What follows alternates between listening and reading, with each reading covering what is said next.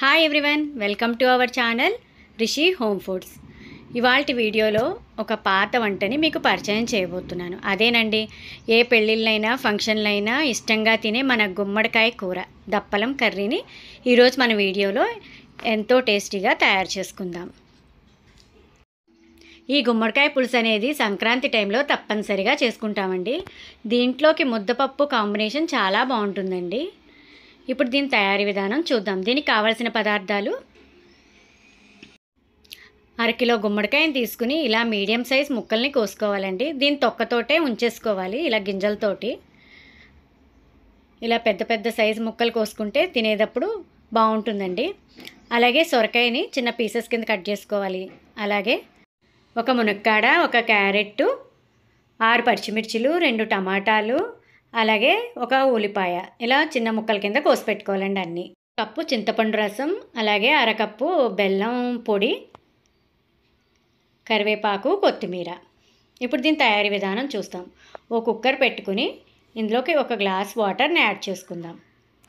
ఇప్పుడు ముందుగా కట్ చేసి పెట్టుకున్న ముక్కలన్నీ ఒక్కొక్కటిగా దీంట్లోకి వేసుకుందామండి.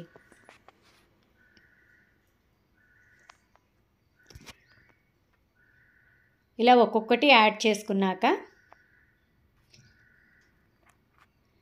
ఇది కుక్కర్లో చేస్తున్నాం కాబట్టి వాటర్ కూడా ఎక్కువ పట్టదండి.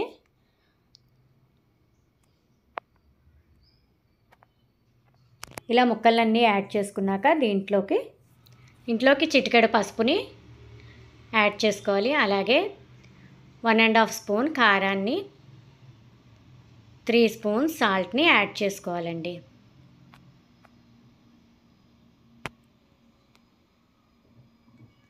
దీంట్లో ఒక్క పావు స్పూన్ ధనియాల పొడి వేసుకున్నానండి ఫైనల్గా.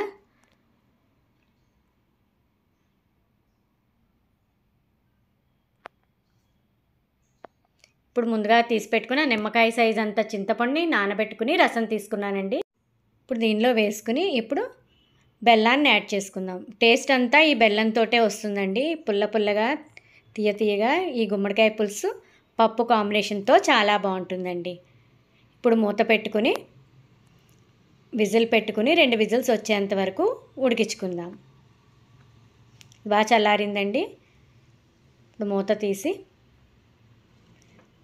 గుమ్మడికాయ పులుసు గుమ్మడికాయ ముక్కలన్నీ బాగా ఉడికినాయండి. రెండే రెండు విజిల్స్ అయితే సరిపోతుంది వీటికి. ముందుగా నేను పప్పు ఉడకబెట్టుకున్నానండి. కందిపప్పు అయినా వేసుకోవచ్చు పెసరపప్పు అయినా యాడ్ చేసుకోవచ్చండి. ఇది పప్పు కాంబినేషన్ తోటే చాలా బాగుంటుంది. దీంట్లో వేసుకుని ఒకసారి బాగా కలుపుకుని దీనికి తాలింపు అనేది వేసుకుందామండి. ఇప్పుడు ఒక పాన్ పెట్టుకుని దాంట్లోకి టూ టేబుల్ స్పూన్స్ ఆయిల్ వేసుకుందామండి.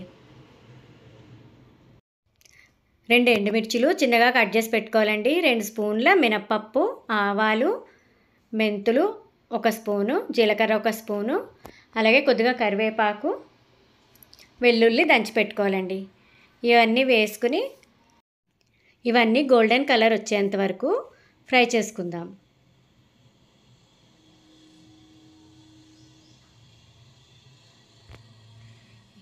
ఇది ఇలా ఫ్రై అయింది కదండి. ఇప్పుడు ఈ పులుసులోకి మనం దీన్ని ట్రాన్స్ఫర్ చేసుకుందాం. అంతేనండి. ఎంతో టేస్టీగా ఉండే మన గుమ్మడికాయ పులుసు అనేది రెడీ అయ్యిందండి ఇది చాలా పాతకాలం వంట అండి గుమ్మడికాయ పులుసుని మీరు కూడా తప్పకుండా ట్రై చేసి కమెంట్ చేయండి.